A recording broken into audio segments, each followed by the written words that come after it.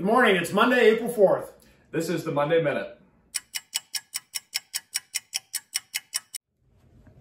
Thank you to everyone who attended the state AD convention last week. We recently had the opportunity to catch up with outgoing IHS ADA president Dale Ludwig at Clear Lake High School. And we are standing in our newly built uh, wellness center on the campus of Clear Lake High School. We are standing on the walking track and I welcome the Girls Union and our new president, Erin Kirtley.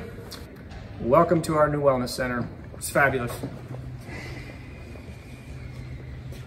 Again, congratulations to the IGHSAU's own Erin Kirtley, who was inducted as the 53rd overall and the first female president in the history of the IHS ADA.